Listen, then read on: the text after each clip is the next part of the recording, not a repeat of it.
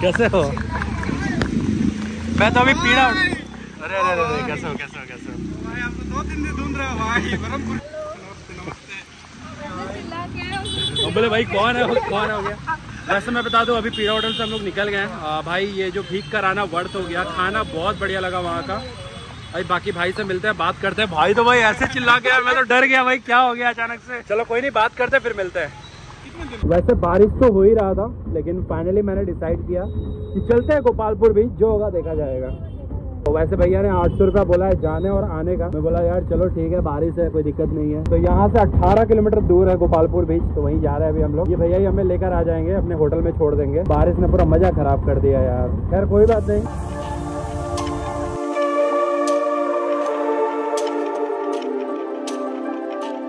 गोपालपुर यहीं से स्टार्ट है क्या? ओके देख लो। Welcome to Gopalpur finally Gopalpur में हमारा एंट्री हो गया अभी जाते हैं गोपालपुर बीच जो कि यहाँ से आठ या नौ किलोमीटर दूर है है ना? तो ये वाले साइड आप देख रहे हो ना यहाँ पे है बरहमपुर का यूनिवर्सिटी तो ये देख लो गोपालपुर मिलिट्री स्टेशन ये देखो कितना बढ़िया लग रहा है ना। वैसे ये उड़िया में लिखा हुआ है मो गोपालपुर। बहुत बढ़िया लग रहा है। फाइनली अभी हम लोग पहुँच चुके हैं गोपालपुर बीच देख लो यहाँ का एंट्री कुछ ऐसा है। यहाँ पे काफ़ी सारा होटल्स दिख रहा है हमें। होटल सी है होटल कलिंगा है। बाकी ये इनका मेन गेट है। भाई साहब पानी देख लो काफ़ी ज़्यादा है पानी वैसे। एक चीज़ है लवली को पानी पूरी खाना था देख लो पानी पूरी भी मिल रहा है। हमारा डिसीज़न अच्छा हुआ यहाँ आने का। देख लो बारिश यहाँ नहीं हो रहा है। जो बारिश हो रहा था बरहमपुर साइड में ही हो रहा था। नहीं तो हम लोग सोचे कि क्या जाए बारिश होगा वेस्ट हो जाएगा। चलो यहाँ का देख लो कुछ ऐसा माहौल है। देखकर बढ़िया लग रहा है। चलते हैं थोड़ा नारियल पानी वगैरह पीते हैं। देख लो जी यही है गोपालपुर सी बीच। जाते हैं थोड़ा वहाँ तक जाते हैं उसके बाद आपको अच्छे से दिखाते हैं। फाइनली गोपालपुर सी बीच हम लोग पहुँच चुके हैं और हमेशा तो पूरी सी बीच आपको दिखाता ही था। आज पहली बार उड़ीसा में आकर कुछ दूसरा बीच में आपको दिखा रहा हूँ। ये देख लो भाई कमाल का लग रहा है कमाल का। और इसके आगे आप जाओगे विशाखापट्टनम बीच भी मैंने दिखाया हुआ है। लेकिन जो भी बोलो, उड़ीसा का बीच का ना बात ही अलग है। क्या लग रहा है? यहाँ का वेव का बात ही अलग है। ओ हो हो हो हो हो। ये सामने की तरफ़ देख लो लाइट हाउस भी है। और इस वाले साइड में कहीं मेफेयर है। मेफेयर अगर जहाँ होगा उनका प्राइवेट बीच भी होगा। ये तो है पूरी में भी सेम सीन है। और काफ़ी सारा होटल मुझे यहाँ से भी दिख रहा है। पूरी जैसे ये उतना भी डेवलप्ड नहीं लग रहा है लेकिन ठीक है काम हो जाएगा। अभी गोपालपुर बीच में मैंने देखा था ना वाटर एक्टिविटीज़ भी कहीं पे होता है लेकिन यहाँ तो हमें कहीं दिख नहीं रहा है। शायद कहीं और कहीं पे होता होगा। यहाँ तो दूर दूर तक हमें कुछ दिख नहीं रहा है ऐसा। कोई और जगह होगा हो सकता है शायद।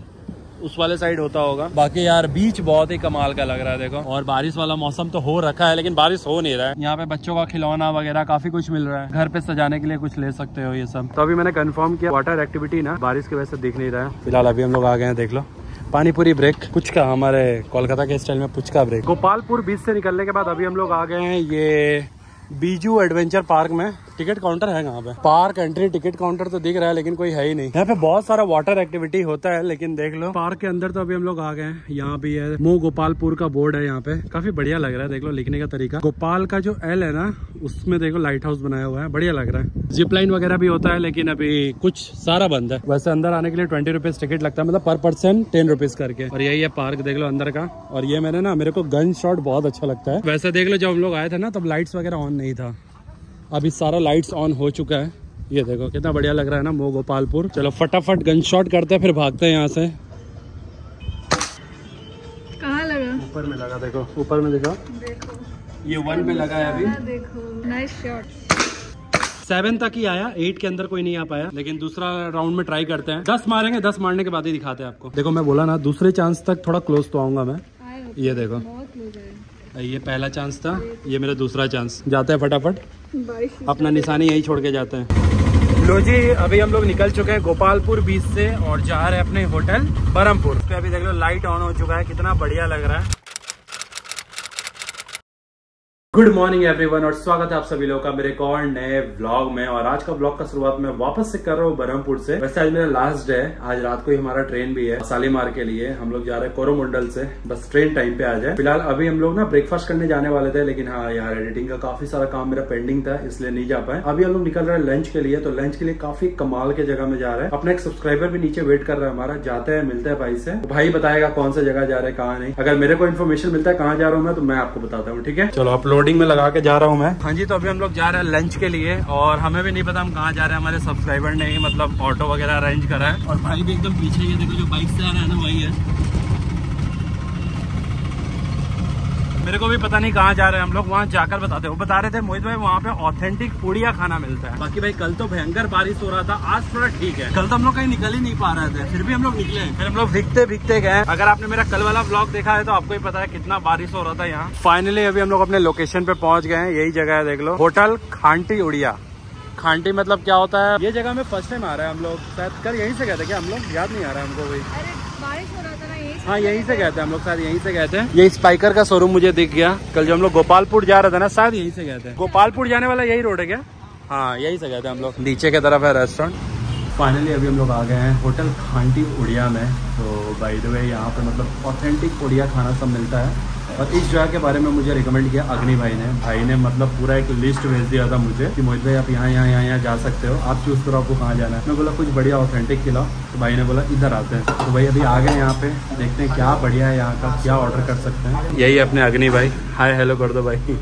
तो बताओ आज क्या हम लोग को खिला रहे हो क्या हम लोग खा सकते हैं यहाँ का? आप पहले नहीं आए हो यहाँ पे? अच्छा। वो जो होता है पखाल। पखल मतलब वो जो पानी भात।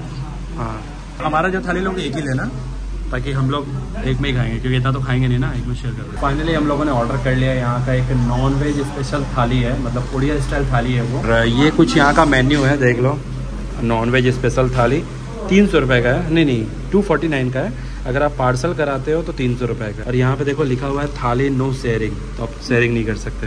अब नॉनवेज स्पेशल थाली में क्या क्या आता है वो जब आएगा तब मैं आपको दिखाऊँगा। अभी थोड़ा अंदर का ना इंटीरियर देख लो कुछ ऐसा इंटीरियर है। उड़िया कल्चर को रिप्रेजेंट कर रहा है ना?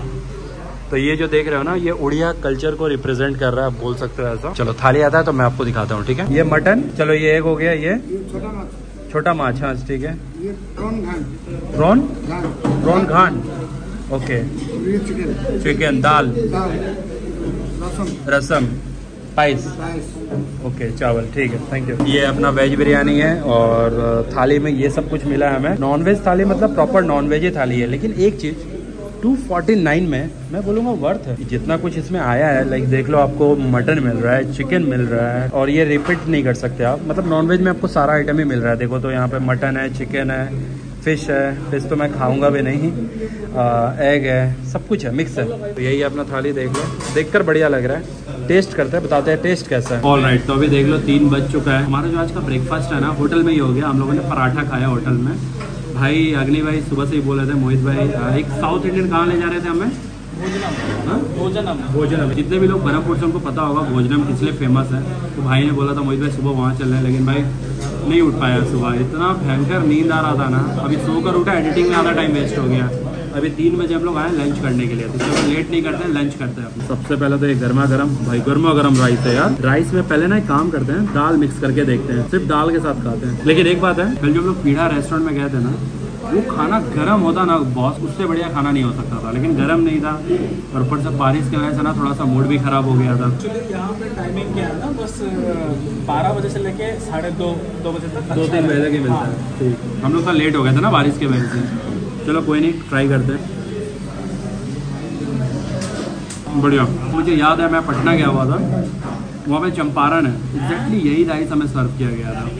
तो अभी एक काम करते हैं ना, इसका असली मज़ा मटन के साथ। निकालते हैं मटन अच्छे से। मटन में आलू भी है। ये ट्राई करते हैं राइस और मटन। ये देखकर मैं बता रहा हूँ, बढ़िया है, बिना टेस्ट किए।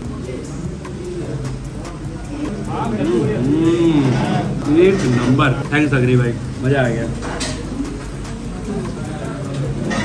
एकदम मटन एकदम वो पता है ये रेस्टोरेंट वाला रेसिपी नहीं है। ये एकदम घर वाला रेसिपी है। इसीलिए इसको बोलते हैं खाटी ओड़िया खांटी ओड़िया। कुछ ना अलग से बटर गार्निशिंग ये सब कुछ भी नहीं। देखो देने का सर्व करने का तरीका भी देखो कितना सिंपल है। जैसे आप मेरे घर आओगे ना मम्मी ऐसे ही सर्व करके देगी आपको। तो ये चीज़ मेरे को बहुत अच्छा लगा एकदम रॉ भाई इनका मटन राइस एक नंबर। और ये आलू भाई साहब आलू इतना टेस्टी लग रहा है ना। पता नहीं ये कितने लोग मेरे बात से अग्री करोगे। मेरे को ना मटन में आलू बहुत अच्छा लगता है। वो आलू से ना मेरे को ऐसा लगता है फ्लेवर और बढ़ जाता है मटन का। पता नहीं क्यों। अच्छा हुआ आज ब्रेकफास्ट लाइट किए थे हम लोग। बहुत लाइट है अगर मेरे को पता होता ऐसा लंच है तो आज ब्रेकफास्ट भी स्किप कर देते राइस में थोड़ा चिकन करी डालते हैं। थोड़ा ही। पता नहीं चिकन करी का जो ये झोल बोलते हैं हम लोग बंगाली में इसको झोल। ग्रेवी भी बोल सकते हो आप। ये थोड़ा पतला सा लग रहा है। Let's see gravy no doubt पतला है लेकिन टेस्टी लग रहा है। ऐसा नहीं है कि भाई मज़ा नहीं आया खाकर। और सबसे बढ़िया चीज़ अब अगर मैं बात करूँ मटन कितने अच्छे से कुक हुआ है कि नहीं तो ये देख लो। वैसे मैं मटन बहुत रेयर खाता हूँ लेकिन अच्छे से अगर कुक रहता है ना तब तो मज़ा आ जाता है। हम्म, बहुत बढ़िया। चिकन पता नहीं क्यों ना एकदम ठंडा सा है। एकदम ठंडा है। मेरे को लग रहा है ना इनका जो फोकस है वो मटन राइस में ही है। चिकन बिल्कुल ठंडा था लेकिन चलो कोई नहीं मटन बहुत बढ़िया था इनका। मटन कल वाला जब लोग खाए थे वो भी बढ़िया था। हम्म, मटन और राइस बहुत अच्छा मज़ा आ गया। चिकन ठंडा है लेकिन। हाँ ठंडा। है है फ़ूड ब्लॉगर का सबसे गंदा चीज़ पता है क्या होता है? फ़ूड ब्लॉगर जो होता है वो खाता रहता है और जो रिकॉर्ड करता है वो देख रहा होता है और जो अपने सब्सक्राइबर मिलने आए हुए हैं वो भी देख रहे हैं। मेरे को बहुत खराब लगता है भाई लिटरली बहुत खराब लगता है ये चीज़। लेकिन ठीक है भाई ये मेरा काम जॉब ही है, मेरा काम है। खाने के बाद देख लो बिरयानी वेट कर रहा है भाई सब टूट पड़ेगा इस पे। ये प्रॉन का जो प्रिपरेशन है ना थोड़ा सा डिफरेंट लगा मेरे को। इसमें दाल भी मिक्स है। है घंटो हाँ। मतलब जैसे आपको मुड़ी घंटो। हाँ हाँ मुड़ी घंटो। जैसे आपका कोलकाता में होता है ना जो मछली का बनता है। पता है। अच्छा जैसा हमारे वहाँ पे होता है ना मुड़िर मुड़िर घोंटो। बंगाली स्टाइल में बनता है वैसे ही ये प्रॉन का घोंटो कुछ बना है। हम्म, इसमें काफ़ी छोटा छोटा प्रॉन्स भी यूज़ किया गया है। इधर देखो। ये देखो ये थोड़ा बड़ा प्रॉन है ये देखो कितना छोटा प्रॉन है। छोटे छोटे छोटा बड़ा हर टाइप का मिक्स करके प्रॉन यूज़ किया गया है दाल के साथ। चिकन मेरे को एवरेज लगा लेकिन मटन और ये प्रॉन घोंटो ये दोनों काफ़ी बढ़िया लगा। घंटो। घंटो। घंटो। सॉरी भाई अगर देखो प्रोनाउंसिएशन में थोड़ा दिक्कत हो जाए तो आई एम रियली सॉरी ठीक है आप समझो मेरा फीलिंग समझ जाना ठीक है? कोई दिक्कत नहीं है। सबसे अच्छा मटन लगा। सबसे बढ़िया नहीं नहीं ये भी बहुत बढ़िया। है अच्छा। ये प्रॉन घांटो प्रॉन घांटा भी बहुत बढ़िया नो डाउट ये कुछ फ़िश फ्राई है छोटा छोटा जो फ़िश है ना उसको फ्राई किया गया है। ये मैं नहीं खाता तो इसको ऐसे ही छोड़ देते हैं। ये अंडा ग्रेवी है। दाल के अलावा आपको रसम भी मिलता है तो ये देखकर अच्छा लगता है। मिला था ना कल हमें वहाँ भी? हाँ हाँ कल लेकिन उसको अच्छा। कुछ अलग बता रहे थे ना वो। नहीं नहीं नहीं सांबर टिच्चू चीरा चीरा। पीड़ा। हाँ। अच्छा अच्छा। ये हमें कल पीड़ा रेस्टोरेंट में भी मिला था। चीरा बोलते हैं इसको। रसम चीड़ा सेम ही है समझो? पीड़ा होटल। में हाँ। बाकी खट्टा खट्टा सा लग रहा है। बढ़िया है। ये मेरे को कल भी बहुत अच्छा लग रहा था। बाकी एक काम करते हैं। लंच अपना कंप्लीट करते हैं। खाना बहुत बढ़िया है। चैन से हमको खाने दो। गर्मा गर्म है। नहीं तो ठंडा हो जाएगा ना तो मज़ा नहीं आएगा। हाँ? नहीं बिरयानी का आप खाओ आप आप ही से पूछेंगे हम नहीं खाएँगे। मैं यहाँ पे आपको ऑथेंटिक उड़िया खाना ये ऑथेंटिक नहीं है ये मेरे को पता है। तो चलो इसको मैं कंप्लीट करता हूँ और जाते जाते मैं एक बात बोलूँगा अगर अच्छा नॉनवेज थाली खाना उड़िया थाली आप आराम से आ सकते हो होटल खांटी उड़िया यहाँ पे ज़रूर आना ये नॉनवेज थाली ज़रूर ट्राई करना। मैं बोला ना रिकॉर्ड खत्म होते ही देख लो। सब अपना अपना खाना लेकर बिज़ी हो हाँ जी तो लंच कंप्लीट करने के बाद मैंने अभी ये इनका सेवई ट्राई किया। भाई ये बहुत बढ़िया लग रहा है। मतलब इनके सवई में ना जो स्वीटनेस है वो भी एकदम बैलेंस है। ऐसा नहीं कि बहुत ज़्यादा मीठा लग रहा है। अच्छा। है फाइनली हम लोग होटल खांटी उड़िया से निकल चुके हैं। और और जो भी बोलो मज़ा आ गया यहाँ का खाना खाकर। लेकिन एक चीज़ थोड़ा सा ये लगा यहाँ पे ना ऑनलाइन पेमेंट वगैरह एक्सेप्ट नहीं करता आपको कैश लेकर आना पड़ेगा। अभी हम लोग यहाँ से जाएँगे गांधीनगर स्क्वायर और यही है देख लो होटल खांटी ओडिया ये जगह की अगर मैं बात करूँ भाई कौन सा जगह है ये? Tata bank Tata bank square है ये गूगल सर्च करोगे आपको मिल जाएगा आना एक बार, बढ़िया खाना है और कैश लेकर आना.